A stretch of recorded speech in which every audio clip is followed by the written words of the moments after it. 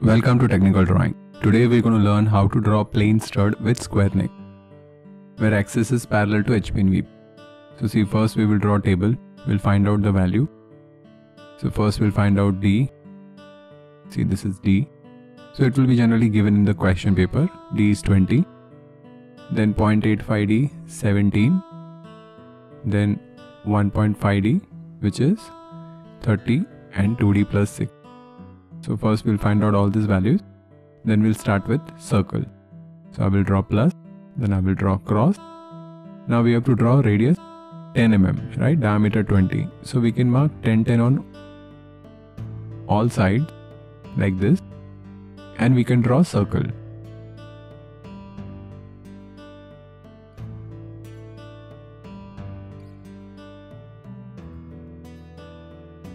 Now what we will do, we will draw curve half on the left side, half on the right side. So we are done with circle. Then we have to draw 0.85D. So approximately I'm taking and this will be 3 4 Why? Because we are drawing external threading. So it will be 3 4 See stud is like a bolt.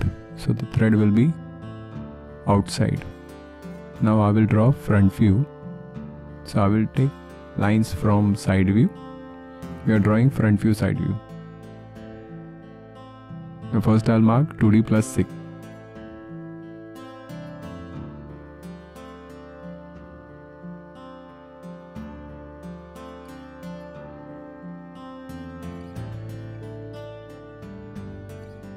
See now I'm drawing internal threading, sorry, external threading that is 0.85.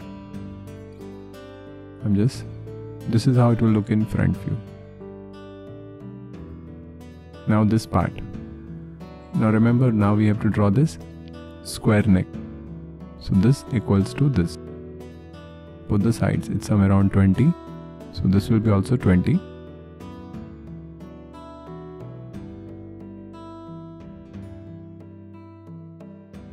In this you don't have to draw any run-off angle like this.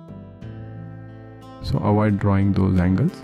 Just draw directly cross so that shows square neck. So those run-off angles we don't have to draw. Then we'll draw this end which is 1.5d which will be equal to 30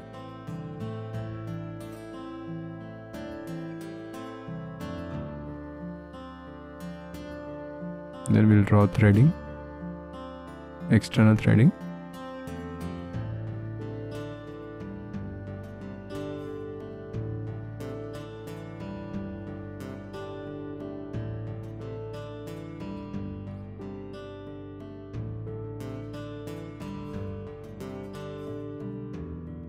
So this distance is 1.5d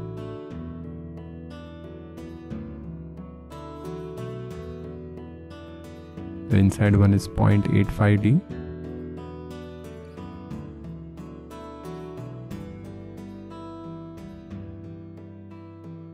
this is 2d plus 6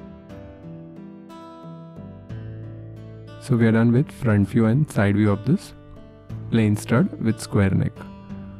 Only thing we have to draw square in side view which I will draw in few minutes. You see this is M20.